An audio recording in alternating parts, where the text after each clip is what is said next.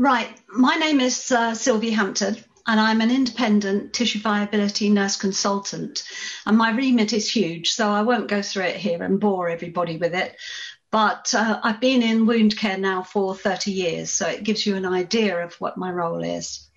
We're here today to talk about malodor and Clinisorb and its role in dealing with that malodor. The wound's generally not the patient's problem. I know that sounds silly because everybody thinks that it, it's a problem, but if you cut your finger and it doesn't hurt, then it doesn't bother you. And it's the same even with chronic wounds. Um, if there's no pain, no smell, no discharge, then the wound doesn't bother you. But if you've got pain or you've got odour, then it's a terrible situation for you. These things are fairly simple to deal with as the cause is mainly due to either colonization of bacteria or clinical infection that's causing the malodor. A clinical infection would require antibiotics. There's absolutely nothing we can do about that as nurses. Whereas a colonization would require the removal of bacteria by cleansing with antibacterial fluid and with use of appropriate dressings. And activated carbon is very good for removal of bacteria malodorous wounds can have serious consequences. There is the sort of um, psychological side uh, where somebody is terrified to go on a bus, as one of my patients were, terrified to go on a bus because of the smell and didn't want people sitting next to her to feel that it was um, awful sitting next to her. And of course, there are all the other things, you know, prevention of intimacy with partners and anxiety, and nurses experiencing feels, feelings of nausea if they have to deal with a wound and the embarrassment that will cause the patient. The wound may never disappear if you've got a, a poor wound, but you can still improve the patient's quality of life.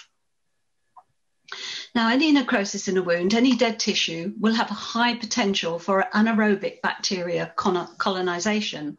And anaerobes hate oxygen, so they will always happily inhabit, inhabit the necrotic tissue and are one of the major causes of malodor, along with something called putrescine and cadaverine, which we'll talk about in a minute. The green fluid is Pseudomonas. And this also has a powerful odor of its own.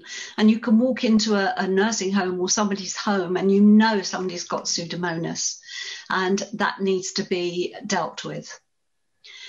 Putrescine, as I said, I would come back to, and cadaverine are enzymes and they break down in a wound with dead tissue. And they break that dead tissue down and they form these fatty acids. And the fatty acids have a terrible odor.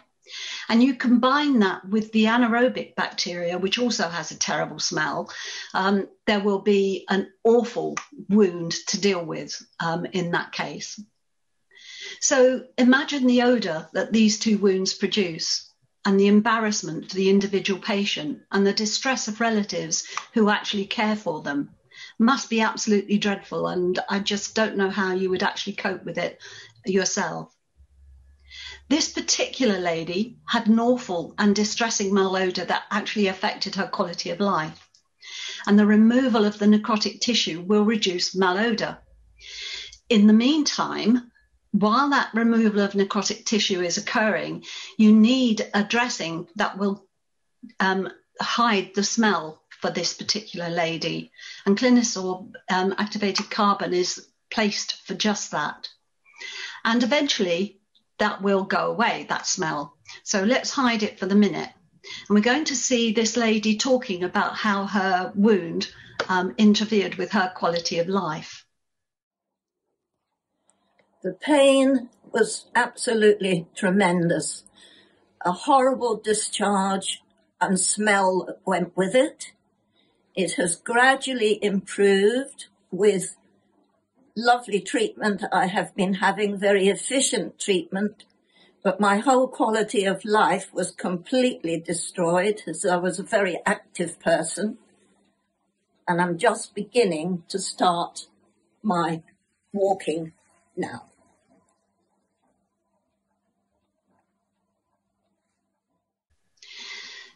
So you can see in that particular case how well her wound actually did. Um, it's now granulating, doing really well.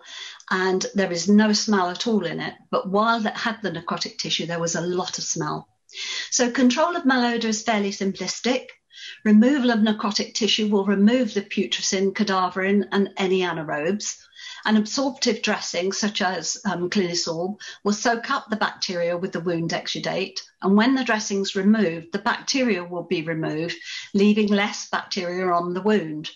And the activated charcoal in Clinisorb will electrostatically attract the volatile fatty acids. It will absorb them and it will prevent odour from escaping. And the nice thing about activated charcoal is that it's used on things like soldiers' uniforms because we know that it um, prevents bacterial contamination and chemical um, in contamination. So odour is a truly elusive thing and the quantity of vapor that is barely perceptible as odor is called the odor threshold. And it requires about 10 times that concentration. So if you can just smell it, you, you know that it's on the odor threshold. And it requires 10 times that concentration to give a definite sensation of odor. And then again, there would be another tenfold increase before the odor is considered strong. So you can imagine that malodor is a very strong indication of a problem that needs to be dealt with. So absorption, adsorption is not a method of disposal. It means of odor collection leading to disposal. And that way malodor is controlled. And the use of activated charcoal in control of odor can be very efficient and it works by removing contaminants before releasing the gases into the atmosphere so that you don't get that odour. And Clinisorb dressing is an activated charcoal, which is exactly what we need in the case of malodor. Now this is um, Clinisorb, and you can see there's lots of layers as well as the activated charcoal cloth. And it's designed to trap the volatile fatty acids as well as some, uh, you know, soaking up uh, a lot of the fluid. So Clinisorb, it's 75% relative humidity, it's still effective and absorbs significantly more odour than its competitors, which is quite something. And you can see here how it actually works. It's very cost effective and certainly worth consideration as a part of our toolbox in wound care.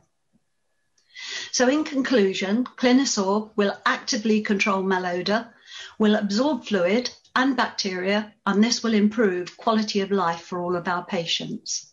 Thank you very much for listening.